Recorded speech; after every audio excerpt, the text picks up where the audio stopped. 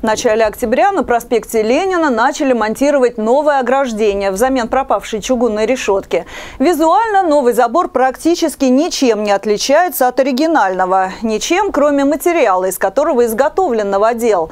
Прежняя ограда была отлита из чугуна, сегодняшняя из более дешевых материалов, хотя стоимость ее составляет ни много ни мало 30 миллионов бюджетных рублей.